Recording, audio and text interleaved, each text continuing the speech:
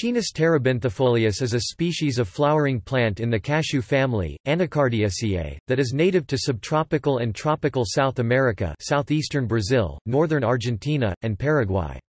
It is found in these states of Brazil, Alagoas, Bahia, Espírito Santo, Mato Grosso do Sul, Minas Gerais, Pernambuco, Paraná, Rio de Janeiro, Rio Grande do Norte, Rio Grande do Sul, Santa Catarina, São Paulo, and Sergipe.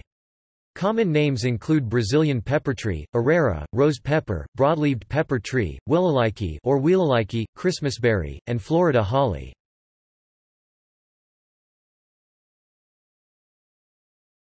Topic: Description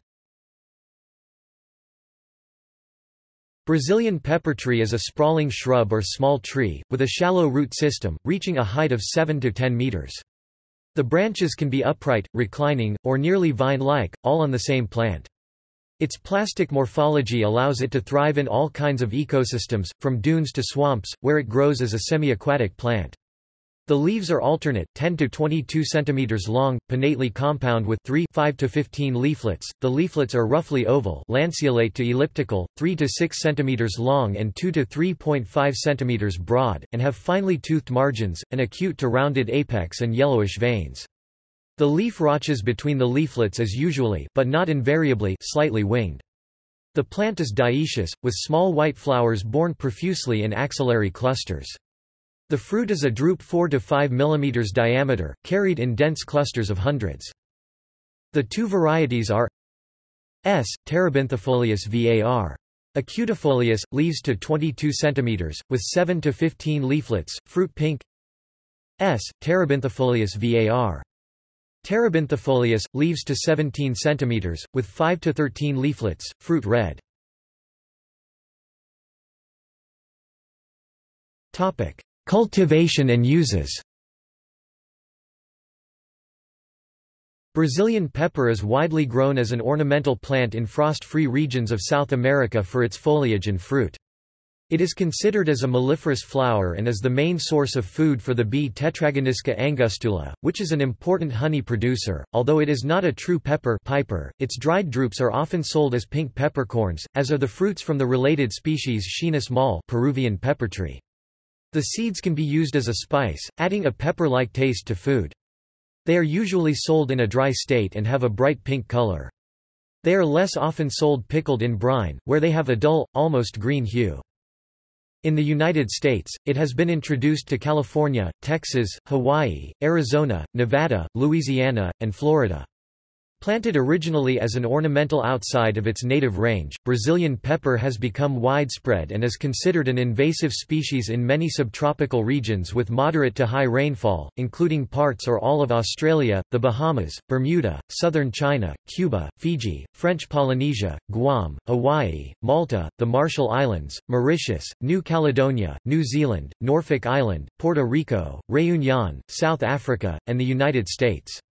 In drier areas, such as Israel and Southern California, it is also grown, but has not generally proved invasive. In California, it is considered invasive in coastal regions by the California Invasive Plant Council www.cal-ipc.org. Brazilian pepper is hard to control because it produces basal shoots if the trunk is cut. Trees also produce abundant seeds that are dispersed by birds and ants. This same hardiness makes the tree highly useful for reforestation in its native environment, but enables it to become invasive outside of its natural range.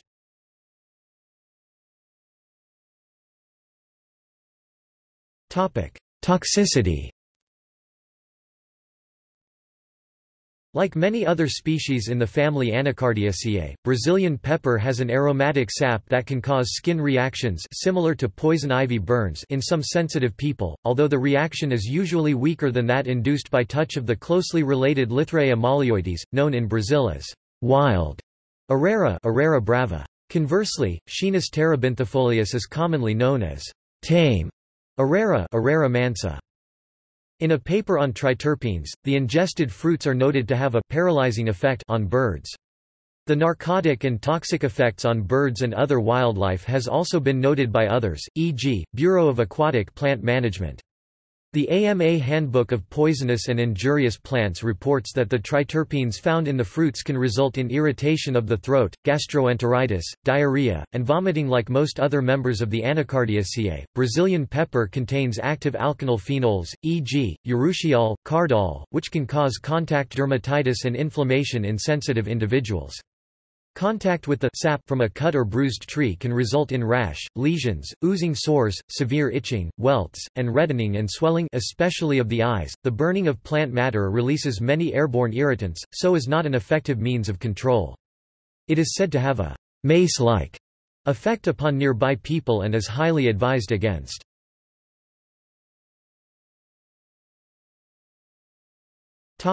History Also known as Florida holly, Schinus terebinthifolia was introduced to Florida by at latest 1891, probably earlier, where it has spread rapidly since about 1940, replacing native plants, like mangroves, with thousands of acres occupied. It is especially adept at colonizing disturbed sites and can grow in both wet and dry conditions. Its growth habit allows it to climb over understory trees and invade mature canopies, forming thickets that choke out most other plants.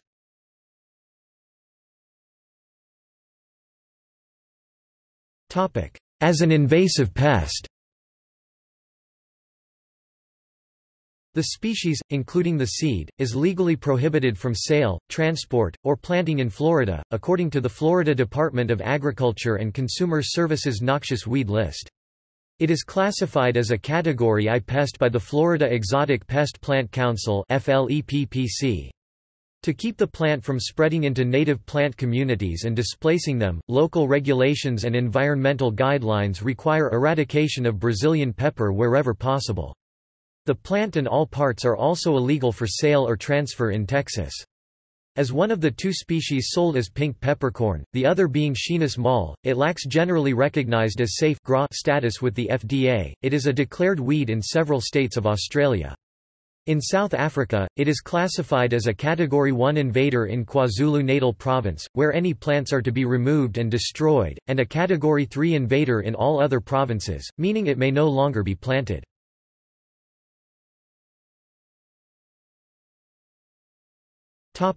Control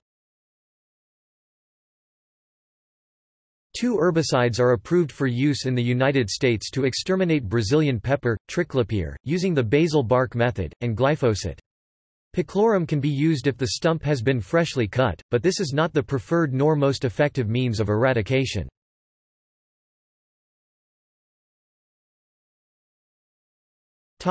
Medicinal uses Peppertree is the subject of extensive folk medicinal lore where it is indigenous. Virtually all parts of this tropical tree, including its leaves, bark, fruit, seeds, resin, and oleoresin or balsam have been used medicinally by indigenous peoples throughout the tropics. The plant has a very long history of use and appears in ancient religious artifacts and on idols among some of the ancient Chilean Amerindians. Throughout South and Central America, Brazilian peppertree is reported to be an astringent, antibacterial, diuretic, digestive stimulant, tonic, antiviral, and wound healer. In Peru, the sap is used as a mild laxative and a diuretic, and the entire plant is used externally for fractures and as a topical antiseptic. The oleoresin is used externally as a wound healer, to stop bleeding, and for toothaches, and it is taken internally for rheumatism and as a purgative. In South Africa, a leaf tea is used to treat colds, and a leaf decoction is inhaled for colds, hypertension, depression, and irregular heartbeat. In the Brazilian Amazon, a bark tea is used as a laxative, and a bark and leaf tea is used as a stimulant and antidepressant. In Argentina, a decoction is made with the dried leaves and is taken for menstrual disorders and is also used for respiratory and urinary tract infections and disorders. Brazilian peppertree is still employed in herbal medicine today in many countries. It is used for many conditions in the tropics, including menstrual disorders, bronchitis, gingivitis, gonorrhea, gout, eye infections, rheumatism, sores, swellings, tuberculosis, ulcers, urethritis, urogenital disorders, venereal diseases, warts, and wounds. In Brazilian herbal medicine today, the dried bark and or leaves are employed for heart problems hypertension and irregular heartbeat, infections of all sorts, menstrual disorders with excessive bleeding, tumors, and general inflammation. A liquid extract or tincture prepared with the bark is used internally as a stimulant, tonic, and astringent, and externally for rheumatism, gout, and syphilis. Recently, the fruit of the plant has been studied and shows promise as a treatment for MRSA. A chemical in the berry appears to stop bacteria from producing a toxin which breaks down tissue. It also appears to suppress the way the bacteria communicate.